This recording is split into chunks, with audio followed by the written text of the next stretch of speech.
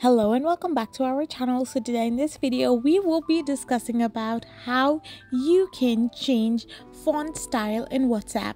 So without wasting much of our time, let's get straight into the video.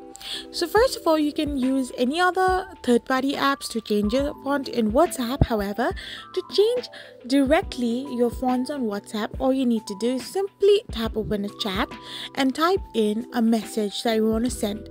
So once you type in a normal message, you will be sending it in the normal default font. However, if you are going to tap on icons that have been shown on the screen, then you can simply change your font style according to the icon that you are putting in front of your text message. You can see some examples on screen how I have used different kind of icon or emoticons that are helping to change your font style in your WhatsApp app.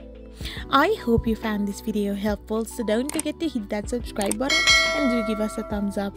We will be back again with these informative videos.